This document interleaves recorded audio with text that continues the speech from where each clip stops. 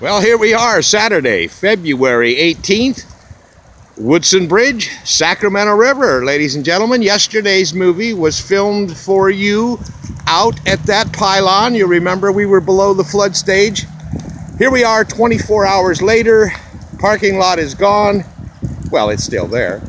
There's the pile of debris looking out across the river. The road is closed behind me going to Chico, Highway 99 severe flooding across the road.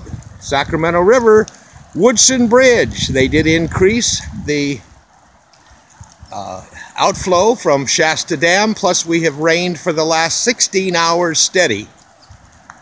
Uh, looks like this is going to sit around for a couple days.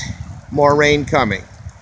The uh, even though the road is closed on the opposite side of the bridge, as you look out across there, I snuck through to come over to this side I'm definitely not going further east because the road is flooded just about 300 feet to my back and probably will stay that way most of the day.